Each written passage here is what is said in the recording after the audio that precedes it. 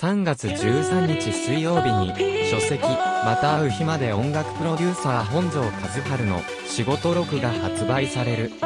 パイダースに始まり、グループサウンズ、フォーク、ジャズ、ロック、ポップスと日本に幾多の新しいポピュラー音楽を根付かせた先進的プロデューサー本城和治。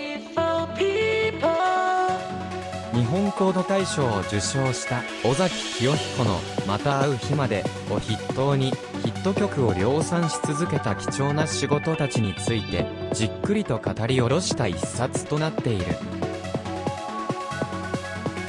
また同日に2枚組42曲入り CD「また会う日まで音楽プロデューサー本庄和春の仕事録もリリースされる。書籍、また会う日まで音楽プロデューサー本庄和春の仕事録発売日2024年3月13日水曜日価格2000円税込46版192ページ登場予定アーティストザ・スパイダースマイク・マキザ・サベージザ・ブロードサイド4森山良子佐々木努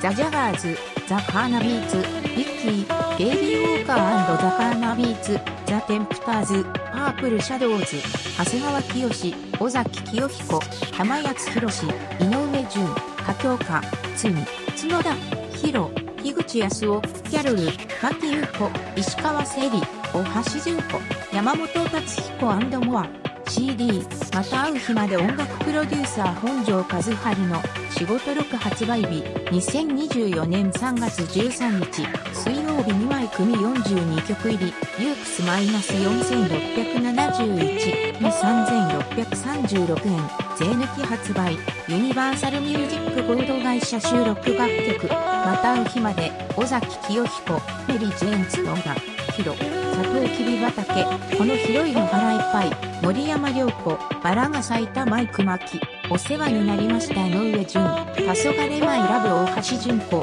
ダンスはうまく踊れない石川せり。ノーノーボーイバンバンバン。夕日が泣いている。あの時君は若かったザ・スパイダース。君に会いたいザ・ジャガーズ。神様お願い。エメラルドの伝説ザ・テンプターズ。いつまでもいつまでもザ・サベージ。若者たちから空にまた火が昇る時ザ・ブロードサイド4小さなスナックザ・パープルシャドウズ。別れのサンバ長谷川清モア。Thank you.